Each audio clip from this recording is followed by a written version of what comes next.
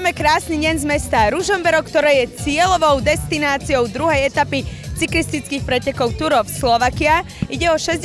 ročník našich najvýznamnejších medzinárodných etapových pretekov. Cyklisti prejdú dokopy 708,8 km cez 5 samozprávnych krajov.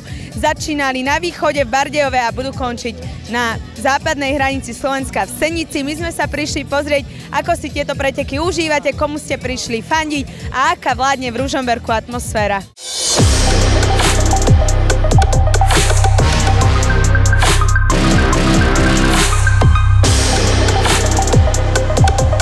Vidím, že toto je buď skutočný fanúšik, alebo vášnivý športovec a idete náhodne okolo. Alebo ste prišli aj pod... Cieľene, cieľene, cieľene, cieľene. Komu ste prišli cieľene fandiť? A všetkým cyklistom. Koho ste dnes prišli podporiť? No slovenský tým?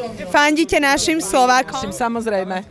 Ja som iba tu prišiel tak pozrieť, že no tak zafandím tomu, kto vyhrá, no.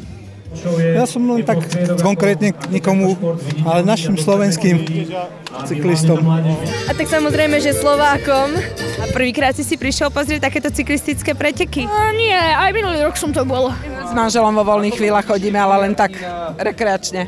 Nie, my sme taká cyklistická partia, manžel amatérsky závodí, takže preto sme tu z Byče. Z Dolného Kubína. Sme nie z mesta, my sme nedalekej Liskovej. Aké etapy by ste ešte uvítali? A viete čo, bol som aj minulý rok. Vršatec bol super. Možno viac Vysoké Tatry. Dolný Kubín, keďže sme odtiaľ samozrejme, ale tak možno nejaké piešťany a niečo také zaujímavé, čo by mohlo pozdvihnúť o návštevnosť tých miest. Ja by som, neviem, či bol v Banskej Štiavnici, tam by bol pekný dojazd podľa mňa na, na tých kockách tiež. Tam možno ju Slovenska by mohli vyskúšať. No rozhodne Žilinu. Čo veríte na tú atmosféru? Tak u nás sa malo takýchto veci deje, takže si myslím, že je to veľmi fajn. Nemáš nejakého obľúbeného cyklistu? No jasné, Sagan. No tak ten Sagan. Tak napríklad Sagan. To zvyknem sledovať, aj keď je Tour de France. Peter Sagan. A Juraj Sagan? Čo veríš, Obre? A Juraj Sagan je dobrý, ale Peter Sagan je taký, že z tých lepších, vieš, uh, lepšie, už má väčšie skúsenosti, už trikrát vyhral po sebe majstrovstva sveta. S komu si dnes prišla fandiť? Bore. Máte tip na celkového víťaza týchto pretekov? Mm, nie, nie. Neviem to odhadnúť, kto v tej zime to vydrží vlastne. A do dokončí vôbec. Viete čo, nemám typ, ale možno, že Juraj Sagan?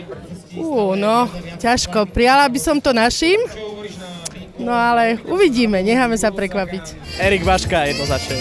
Kto si myslíte, že zo Slovákov dnes dorazí ako prvý do cieľa? No budem držať Baškovi, lebo mal aj včera dobrý výsledok.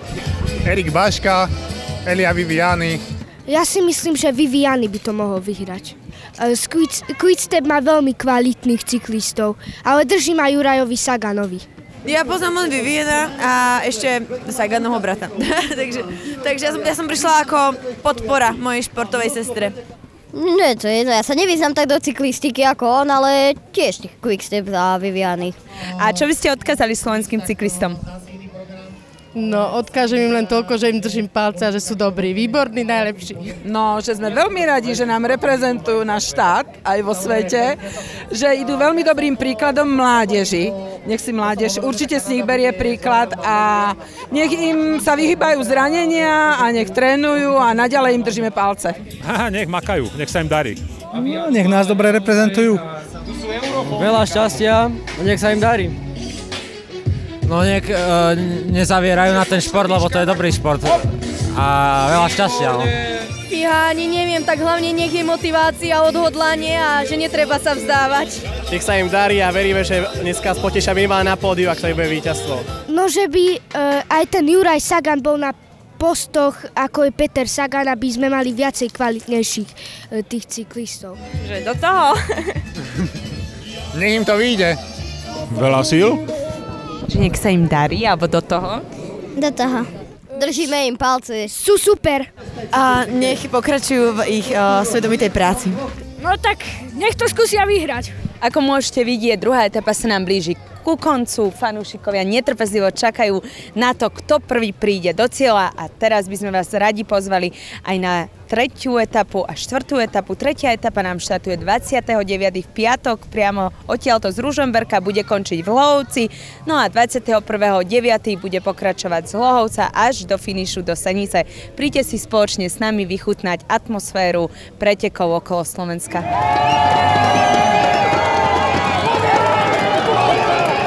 Do cieľa v tejto chvíli prichádza víťaz! So štartovným číslom 94 víťazí pretekár týmu Delco Marcel Provence a z 94 je to Michal Edward Grossu.